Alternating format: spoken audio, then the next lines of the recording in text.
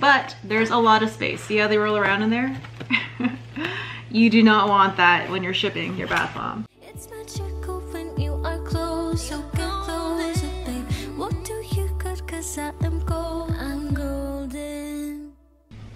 Hey everyone! Today I have a really special video for you guys. I will be showing you how I pack my Etsy orders. I have a few bath bomb orders that came through, so I thought it'd be the perfect opportunity to show you guys how I give my bath bombs the best possible chance to arrive to my customers all in one piece. So you thought the hardest thing about bath bombs was making them? Try shipping them.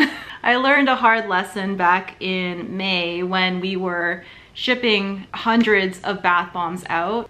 Yeah, there's a right and wrong way to ship bath bombs. Unfortunately, we found out that, especially for carriers in the States, that they don't necessarily treat your packages with the greatest of care. A lot of our bath bombs arrived pretty messed up.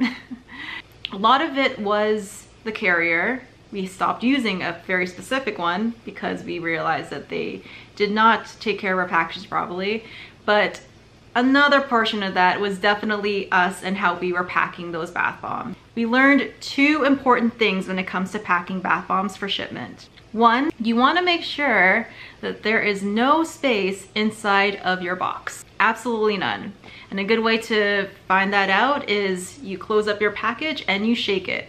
If you hear any type of rattle, any at all, open that up and stuff more stuff into it there will be so many things that could possibly happen to that box. If you have a bath bomb that's rattling around, damage will be done to that bath bomb. The second thing that you want to avoid is moisture getting into your bath bomb. Bath bombs, when they're exposed to any type of moisture, will do what bath bombs do best, and that's activate. the ingredients in a bath bomb react to moisture. That's what makes them fizz and bubble up in a bathtub. So when you have a bath bomb in a very humid climate, it will do weird things to that bath bomb. It will actually compromise the hardness of it. It will start to become soft, which makes it more prone to crumbling. And if you have a crumbly bath bomb in a box that's been rattling around, disaster happens. And here are my two orders for the day. They are both bath bomb orders. I have a listing on my Etsy where you can order three in one box and I have their uh, labels already printed over here. So what I do with these bath bombs to help with the moisture issue is I initially wrap them in their biodegradable shrink wrap, which gives them the first layer of protection. The next thing I will do is wrap this band around the diameter of the bath bomb, and then I will add another layer of shrink wrap on top. So I give them two barriers of protection. And since I've been doing that, my complaints about a crumbled and destroyed bath bomb have been none at all. So that method has been working really well for me.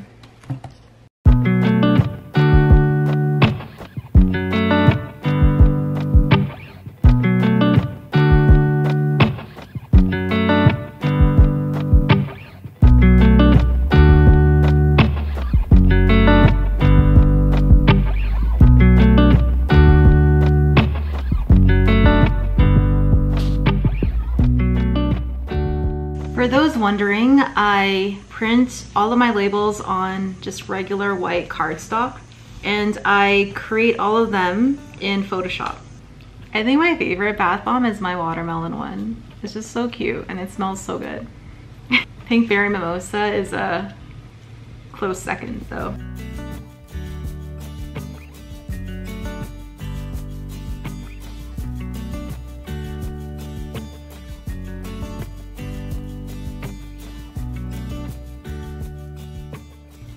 So after I have all of their paper labels wrapped around them, oops, that one sprung open. I'm going to have to reglue that, but now that they have all of their labels on, I'm gonna go take them over to the shrink wrapping station and give them their second layer of shrink wrap around the outside.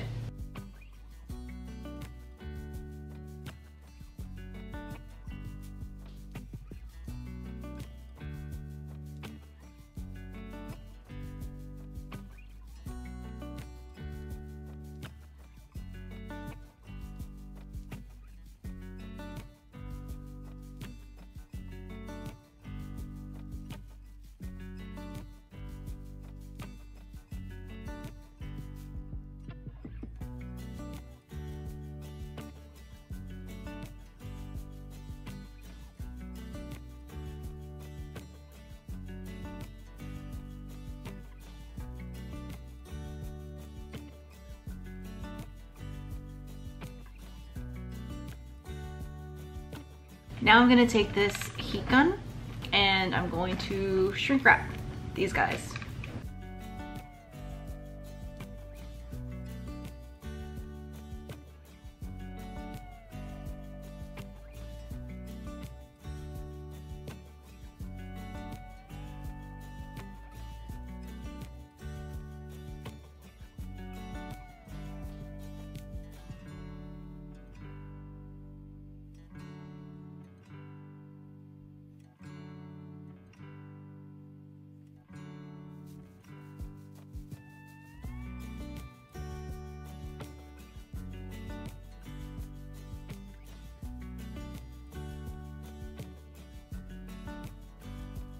So now that all of those bath bombs are double wrapped and sealed, we're going to take care of the cushion issue.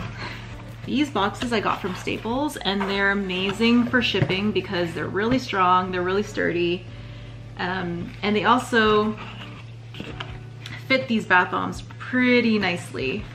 But there's a lot of space. See how they roll around in there? You do not want that when you're shipping your bath bomb. So one of the things that I do to prevent that from them rolling around is I use this recyclable paper crinkle fill and I just stuff it in here and I fill in all of the nooks and crannies and I just uh, keep packing it in until they don't roll around anymore.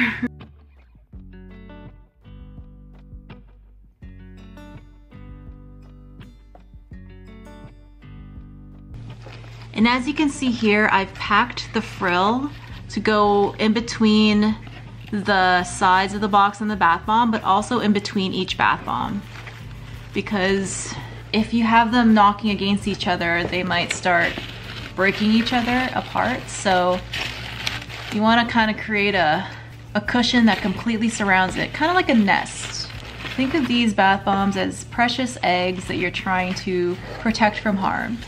And a good way to know that they're in there really good is just shake them from side to side. And if they're not moving, you're good to go. So we've taken care of protecting them and giving them the best possible chance of getting to the buyer all in one piece. Now we're going to do the final touches, which is branding and a card if they've requested it. So I'll show you how I do that.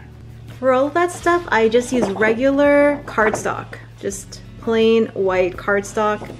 And this is also the same paper that I use for the bands that go around the bath bomb. So I just print my cards on here using my LaserJet printer.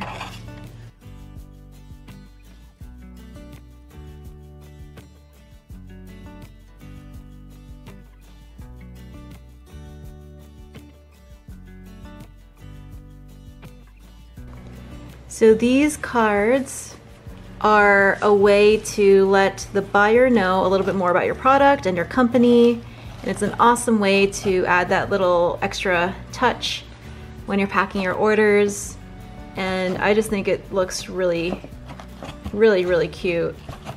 And then I also add um, a thank you card to let them know that we appreciate their order and there's a little bit of a discount on there as well. And there's a bit of a call to action to review our product on Etsy. And that seems to be really helpful in getting people to review your stuff. And I'm also going to add a sticker that will go up on here.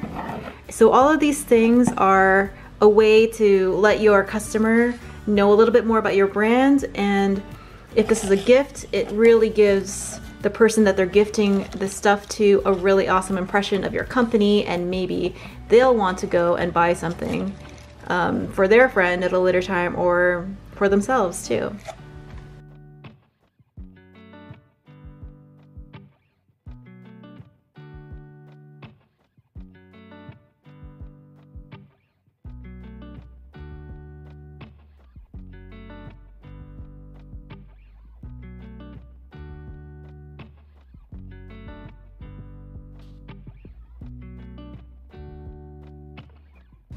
So you can see how there's still quite a bit of space between here and the top of the box.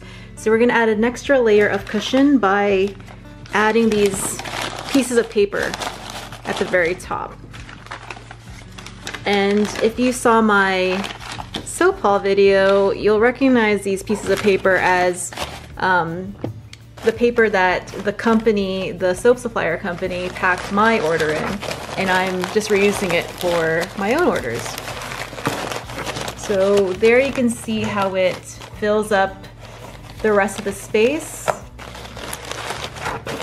and gives our bath bombs that extra layer of protection.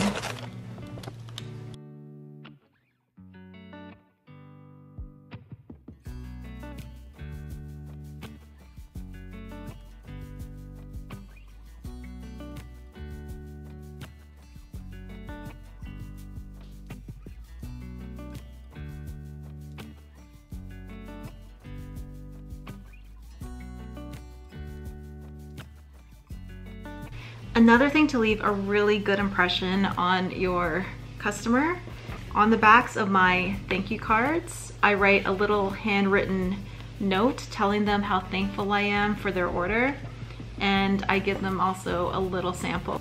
And these are just one ounce size soaps that I like to add with my order. So I have the shipping labels printed and ready to be taped down. I mostly use Canada Post to ship my packages and because I've been shipping a lot this year, we have a pretty good discount. There's different tiers um, on Canada Post for small businesses. So if you're a small business and are wanting to get a little bit of a discount on your shipments, I highly re recommend um, SnapShip by Canada Post. They've been really good for us. So there you have it. That is how I package my bath bombs for shipment. I hope you like this type of video. Please give a thumbs up if you did. If you're not already subscribed, please subscribe and turn those notifications on for more videos. I try my best to post daily. For those already subscribed, thank you so much. All 590 of you. Wow, that number just keeps getting higher and higher. Thank you so much for following me on my journey and I hope all of you continue to stay awesome. And as always, I'll see you in the next one. Bye guys.